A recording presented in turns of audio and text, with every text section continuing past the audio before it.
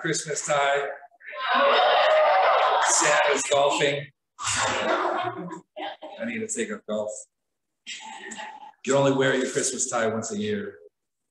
So I got to put it on.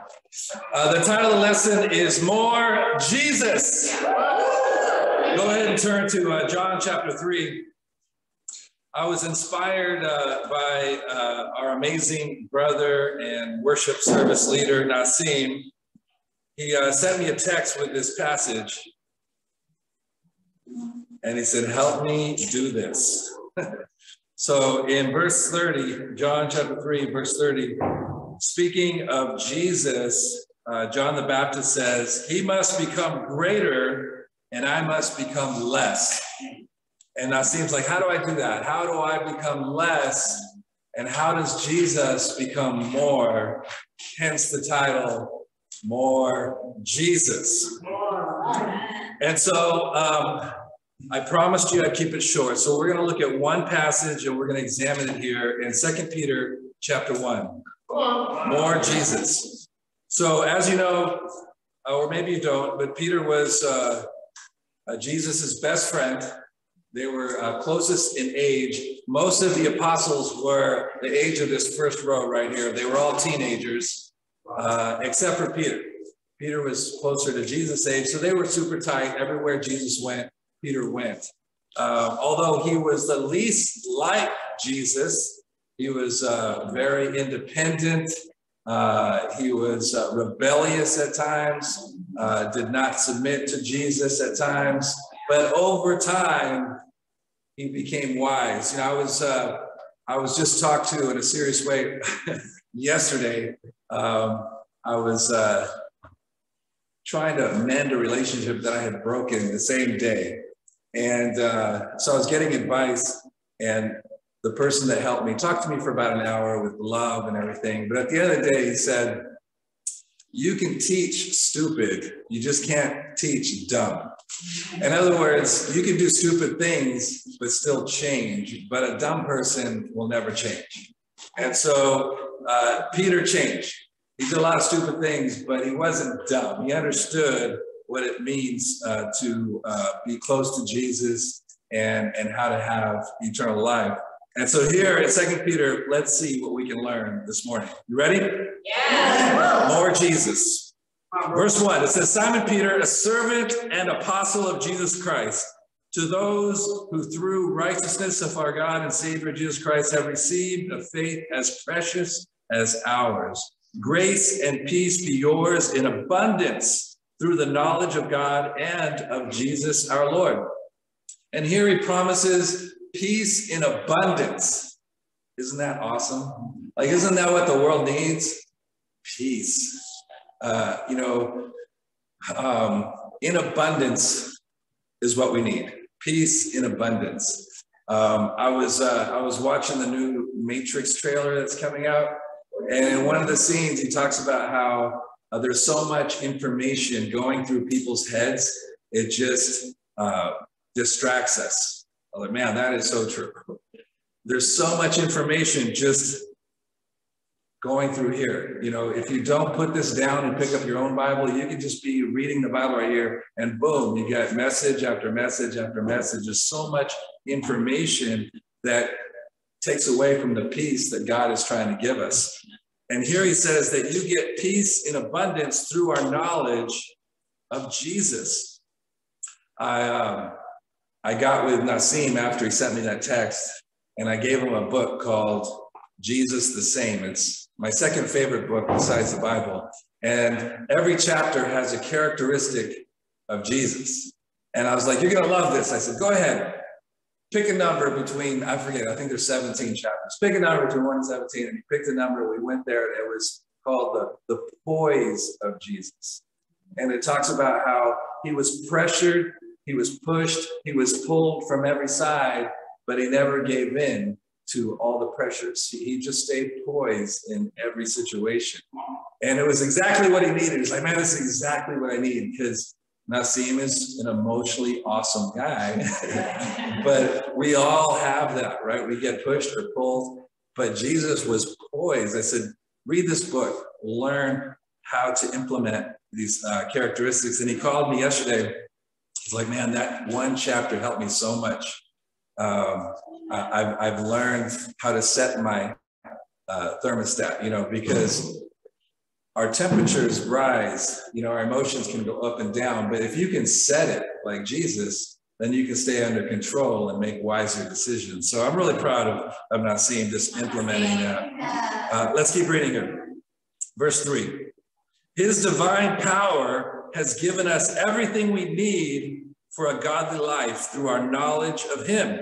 There it is again, through our knowledge of him who called us by his own glory and goodness. Through these, he has given us his very great and precious promises, so that through them you may participate in the divine nature, having escaped the corruption in the world caused by evil desires. Through our knowledge of Jesus, uh, we can escape the corruption that's all around us. And uh, we really need this during the time of Christmas because there's so much trying to get our attention.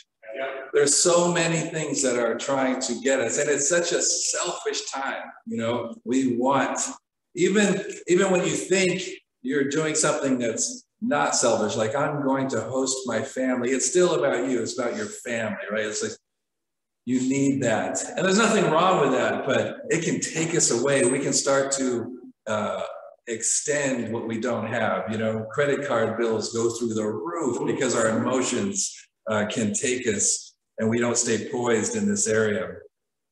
You know, he talks about the knowledge. If you look up that word in the Greek, the knowledge is an intimate situation. Um, I remember in high school, I had a, a best friend uh, I met him, I think in 10th grade. His name was Ron. And I thought he was the coolest guy. He was so easy to hang around, but he had long hair, like down in the middle of his back. But within two years, guess what? I had long hair. uh, I don't know how it happened, but we ended up like buying the same kind of jeans. Uh, we, we bought the same kind of shirts. Uh, he introduced me to Led Zeppelin. Pretty soon I had every Led Zeppelin album. Uh, we, uh, Led Zeppelin. Okay. So it wasn't all good, but it was like, you know, you see what happens when you hang out with someone, you start to become more and more like them. You love hanging out with them. This is the intimate relationship that the Bible is talking about with Jesus. It's to get to know him in this way.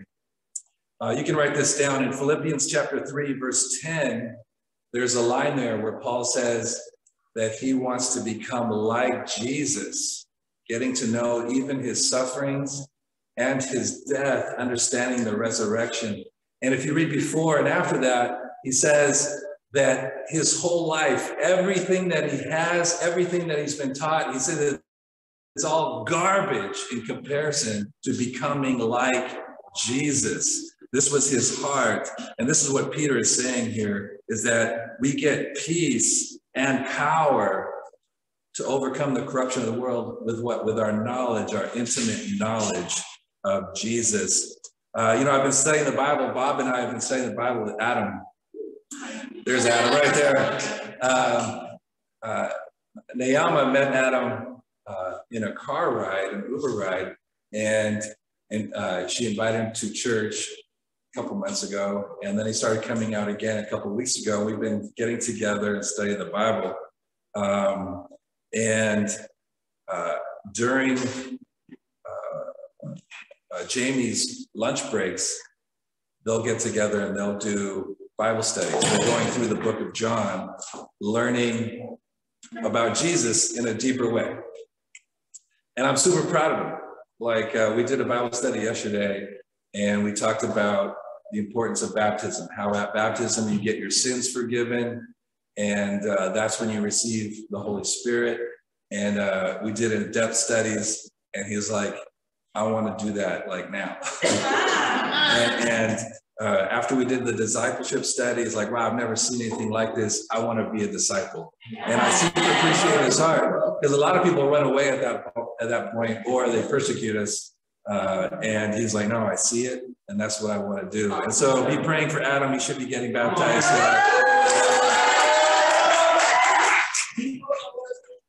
Let's keep reading here in uh, verse 5.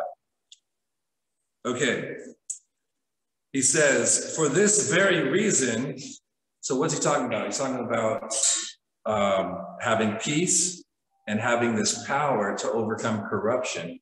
We've been given that through the knowledge of Jesus. And he says, For this very reason, make every effort to add to your faith goodness, and to goodness, knowledge, and to knowledge, self control, and to self control, perseverance, and to perseverance, godliness, and to godliness, mutual affection, and to mutual affection, love.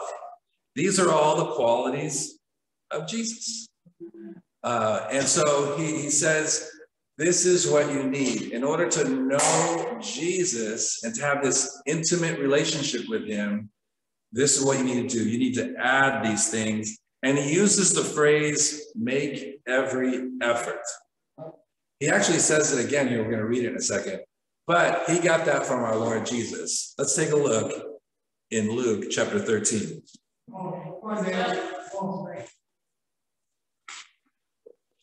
More Jesus. That's what we need during Christmas time.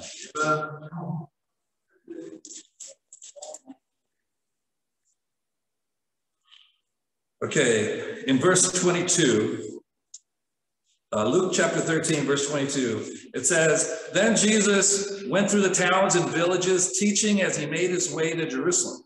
Someone asked him, Lord, are only a few people going to be saved? Wow.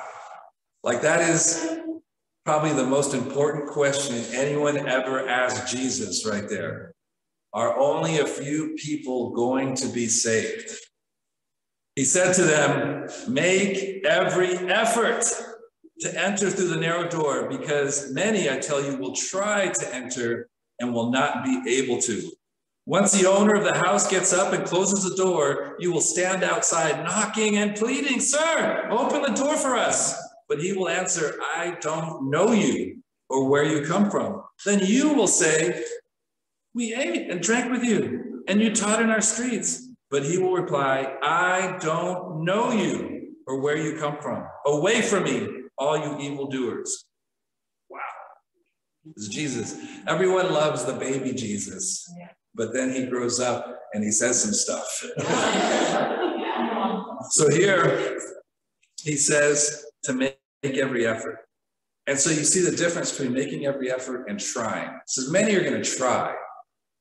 There's a difference. You got to ask yourself this morning, am I making every effort to what? To know Jesus. It's not about a bunch of rules and commands. Uh, he says, make every effort to know me. So you can come as you are. You can come with the strength that you have. That's what I love about what Val shared.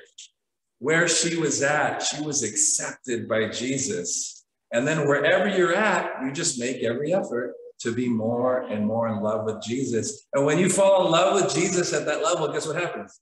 You start to love what he loves. You love his music. You love the way he's modest. You love the way that he gives and he shares and he gets on his knees and he loves the children and the old people and the rich and the old and every race. He was perfect in his love. This will happen to you if you actually make every effort to know Jesus. Because if you don't make every effort, he's going to say the same thing to you I don't know you. And only those that know him get eternal life. And this is what Peter was talking about. Make every effort. Let's go back. Uh, I want to read this post that uh, our amazing Sybil wrote on Facebook two days ago. First, she starts off with a scripture, of course, and uh, it's Isaiah 28, verses 10 13, uh, through 13. And it talks about the religious people making all these rules. And it ends with this So then, the word of the Lord to them will become do this, do that, a rule for this, a rule for that, a little here, a little there. So that as they go, they will fall backwards they'll be injured and snared and captured. See, rules get us in trouble. It's not about rules, it's about a relationship with Jesus. And so she writes this, Sybil in her own words, writes this I pray that God's word to us will never become a book with a list of to-dos, but truly viewed not only as a love letter to us, but a relationship between the creator and the created. That's simple. That's our system. And, uh, and I believe that's what's needed.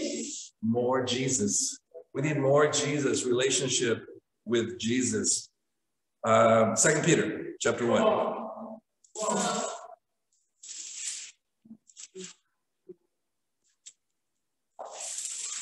Where did I leave off? Okay, verse 8.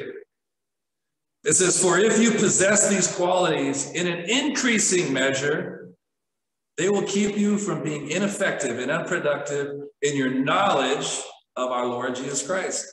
But whoever does not have them is nearsighted and blind, forgetting that they have been cleansed from their past sins. Of course, he's writing this to Christians who can forget that they need to possess the qualities of Jesus in an increasing manner. You can't stay where you're at. You have to be more like Jesus every year. Imagine uh, if one of the children that were here, you come back five years later and they're the exact same height. You'd be like, oh my goodness, there's a problem, right? In the same way, if you haven't grown spiritually, if you're not more loving, joyful, peaceful, patient, kindness, if, if you haven't increased in these qualities, there is a problem. And you know what you need? More Jesus. You need more Jesus in your life. I have a couple of uh, quotes on growth from famous people here. Uh, Thomas Jefferson, Jefferson says, I'm a great believer in luck.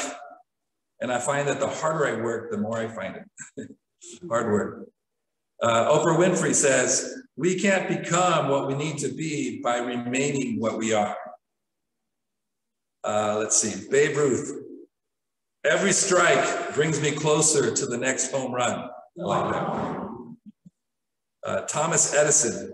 Many of life's failures are people who did not realize how close they were to success when they gave up. Maya Angelou. Do the best you can until you know better. Then, when you know better, do better. I love that one.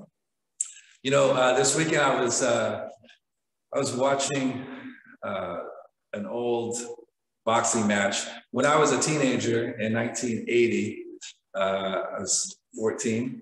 Um, I had a, a, friend. His brother was a boxer, professional boxer, and so I'd go over to his house and we hit the bag, hit the speed bag, jump rope, uh, get into the ring, uh, and I just loved it. I love boxing, so I would study out the, the boxers, the great boxers of that time. And there was a guy named Sugar Ray Leonard. He was uh, he was 27 and 0 and had the championship. And he fights this guy named Roberto Duran. And I like Roberto Duran because uh, él hablaba español. He was he was Mexican, uh, Spanish speaking, uh, like myself. And so uh, he ends up beating Sugar Ray Leonard and takes the title, takes the championship away. But Sugar Ray had a signed deal with him that if Sugar Ray lost, that he would get first right of refusal. He would get the first match and he, he had no choice. And so Sugar Ray's like, I want to fight you again. And so they set up a fight right away. And so he studied him out. And again, this story hit me because you can't stay the same. You're either going to get better or you're going to get worse. And the second match, you see one person go downhill really for the rest of his life, and another one skyrocket. And so Sugar Ray got to work and he uh, memorized really all of what he did wrong. And he went in there and he fought. And in the eighth round, in the eighth round, and they were close on the judge, judge's card, um, Roberto Duran stops fighting.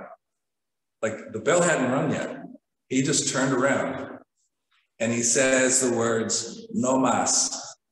And so if you Google it, the no mas fight, you'll be able to see it. It's, it's amazing. The fight is amazing. He shouldn't have stopped. But later on in this documentary, it turns out that he started partying. He, uh, he wasn't as hungry as he was in the first fight, and he had lost it. And this is what can happen to us, especially during the Christmas time. We can take a break, we can stop reading our Bible, uh, other things get in, uh, become distraction because we're not on our same routine, you know, and, and things can happen. And so um, I want us to leave here. Uh, this isn't accurate, so just bear with me. Um, so if you take Christmas, Christ uh, is Jesus, right? And Mass actually means taking communion. And that started uh, in 1308 or something. They came up with that word. It's taking communion together as a community, Christmas.